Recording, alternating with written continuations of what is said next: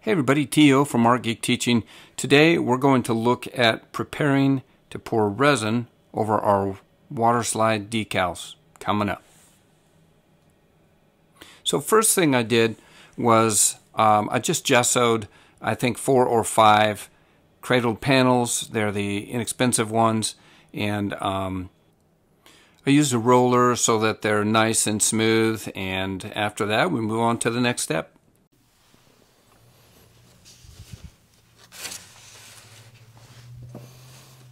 Okay, back to just a regular one, Dragonfly. I sealed it with the Blick matte fixative. Nothing else on it, so I haven't put any matte medium on it.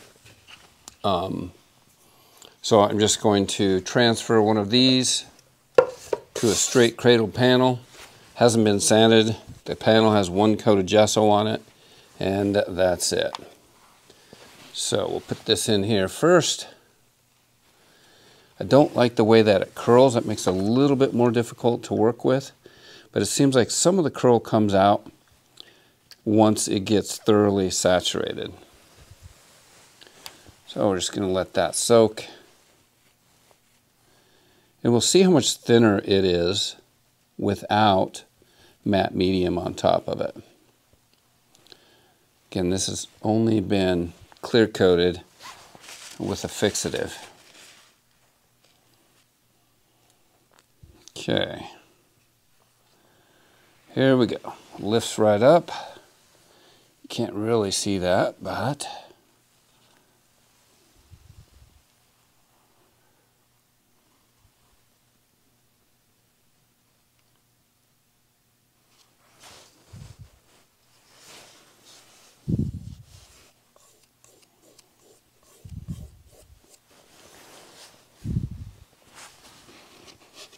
From yesterday we can go back in there and pull this.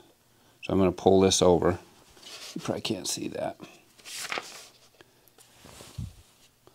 Just going to clean this up so it covers all the whole thing.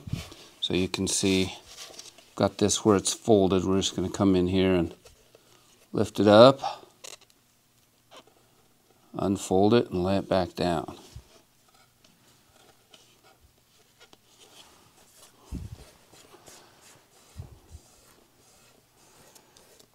Now, one thing I did not try, this is pretty solid. No color coming up or anything. Um, so I wonder if I can get a little more aggressive with what I'm using to put it down.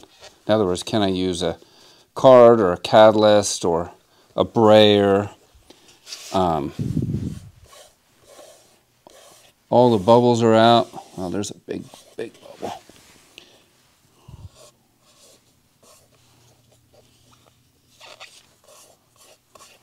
The bubbles do seem to come out pretty good with just your hands.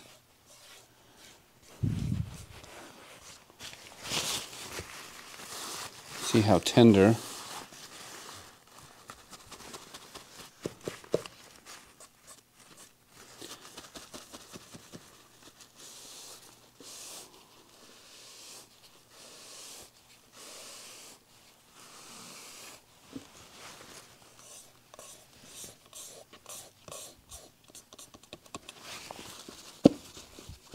Okay, what I'm going to try to do, I'm going to get a brayer and I'm going to put a piece, is this dry? I'm going to put a piece of paper over this and just see if I can get some more of the bubbles out. This is just Blick palette paper, the cheap stuff.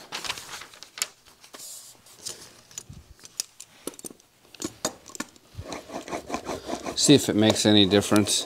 I think it may just need water.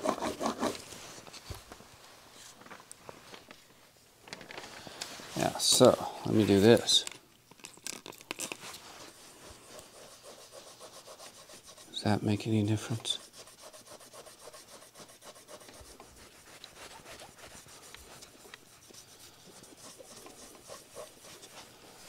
Oh!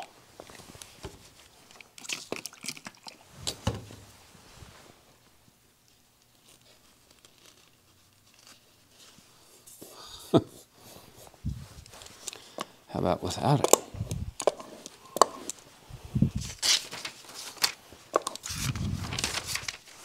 Right side down.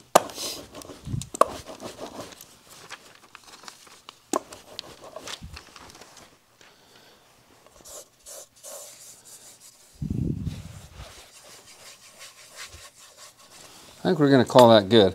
On the next one, what I'm going to do is wet the board first and see if that makes any difference. This actually um, looks like it's stayed down pretty well. And um, the tests that I really want to do on these, what I want to use these for, is for resin. And I think they'll be just fine like they are for resin. I'll come back and trim off the edges, but I think everything else is going to be just fine. So we'll try another one. Once these rest for 24 hours, I can put some resin on them, or I think it says three hours on the thing. I'll have to look. But I'm going to set these aside to dry. Do another one.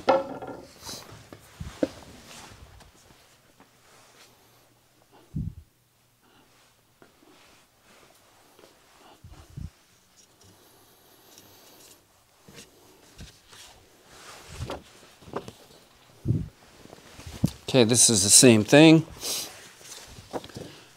No matte medium. It just has the matte fixative on it from Blick. Put it in the water.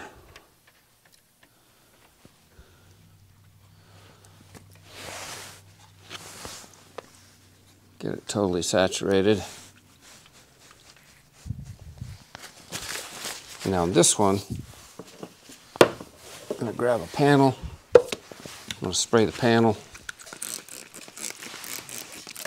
Just spraying it with water.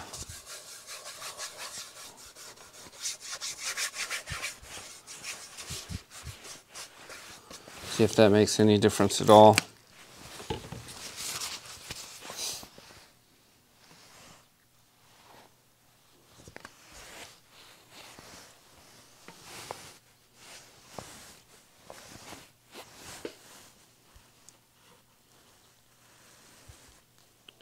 Peel them off.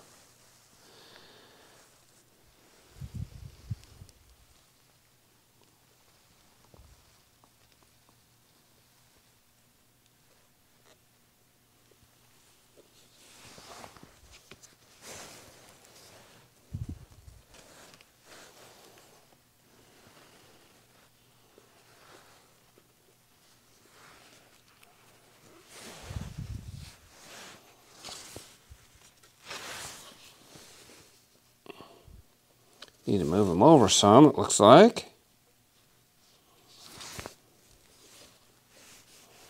Which we did fairly easily. I'll see if these bubbles come out or if it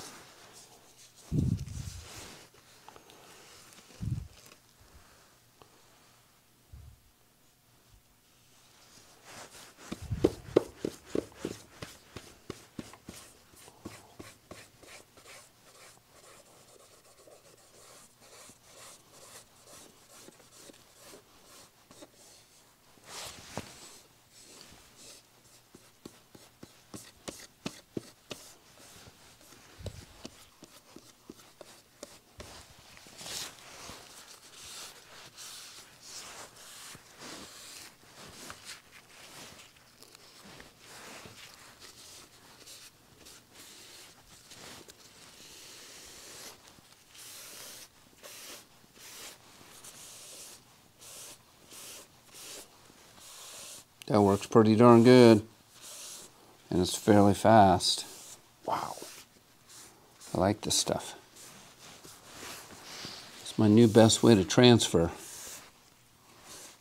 We'll see. Not done testing yet, but this stuff is looking really good. See how it holds up with.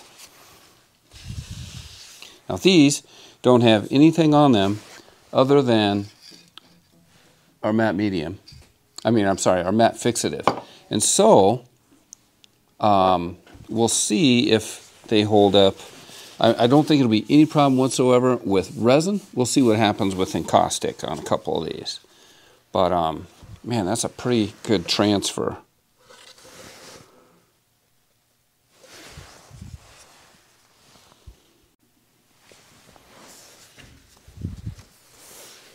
All right, we're going to do these last two here, just uh, so I have some things to resin. We'll play with some resin in the next day or two.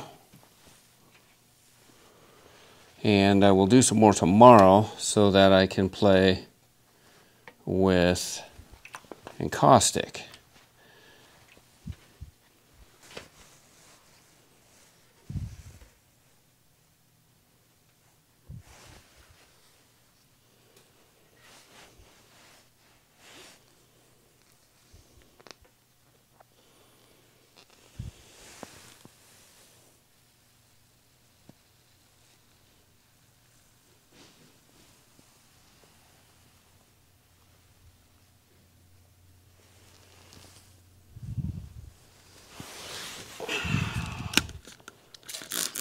Forgot to spray it. Works better if you spray it. really does. That might have been a mistake. oh boy. With most emulsions, that would have been a bust. This stuff is pretty resilient. So I'm going to lift it back up. Scoot it over just a tad. I can't believe how tough this stuff is.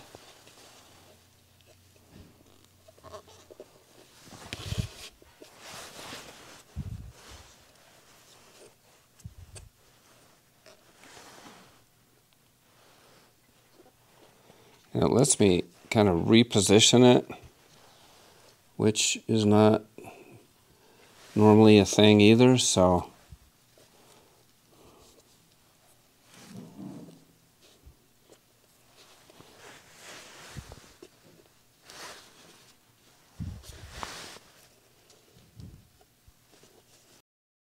bit of working time with this, not a lot, but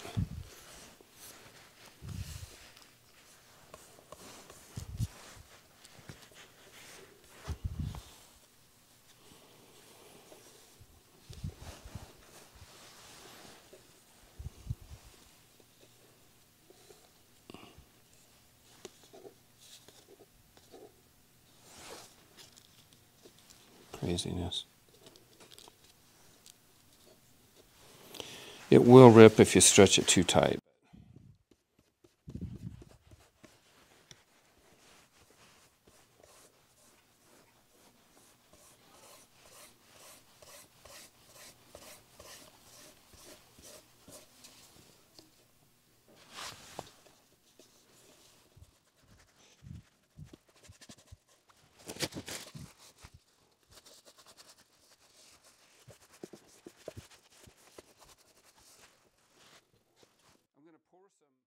I'm going to pour some uh, resin. And these guys, I just need to clean up. We left these on one of the other experiments. We left these uh, up and didn't, didn't tear them off. So with these, they need to be torn off and then glued down. And I think one of the things that I thought about is maybe just coming down in here and cutting, peeling that off so that I have a way to actually um, glue down, quote unquote, glue down the material. So that's what we're going to do. I don't know if I have to do that. Um, and right away I can see that this is going to be ugly because this is not white. My gesso is white, but it's fine. I just don't trust it. I don't want the whole thing to delaminate. So you know, this is all experimentation. We'll figure out the best way to do it as we move along. I think what's probably going to be best is to uh,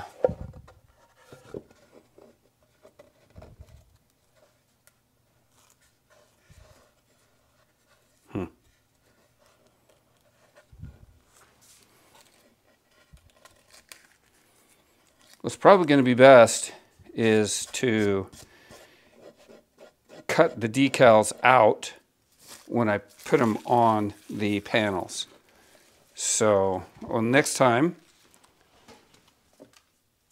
that's what we'll do. This time, we're going to experiment with this and see how bad it looks with resin over the top of it. It might be a no-go. You just don't know.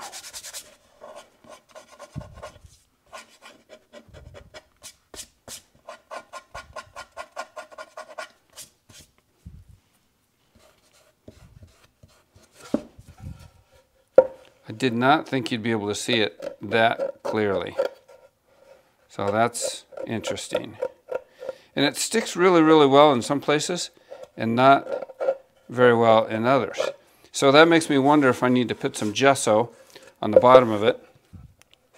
So we're going to experiment with that. On a couple of them, we'll go ahead and put gesso, and on others, we won't.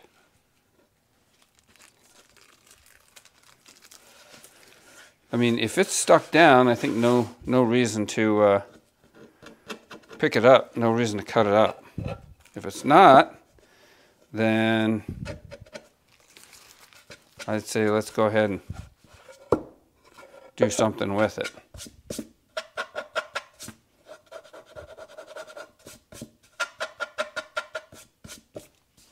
Hmm.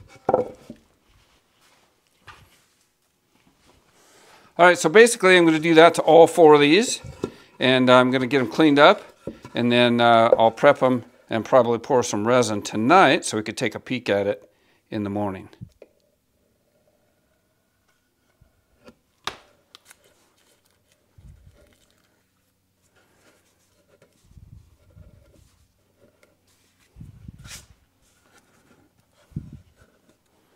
If you have anything loose like this, you definitely want to take that off.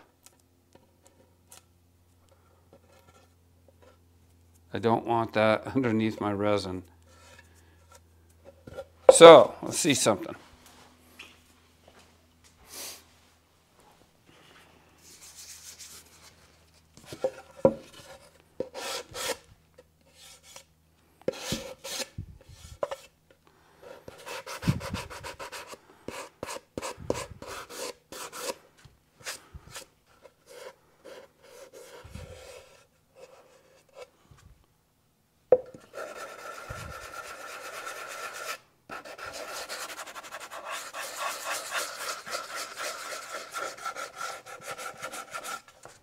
And get rid of those rough edges.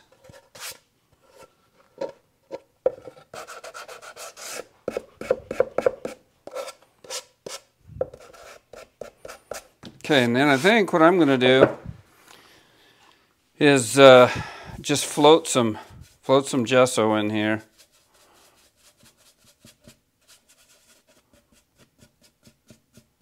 Just randomly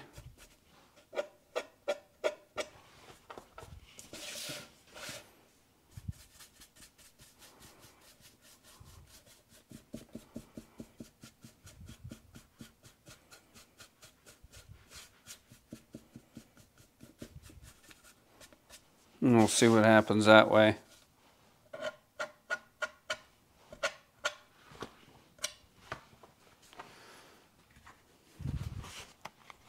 Need a palette.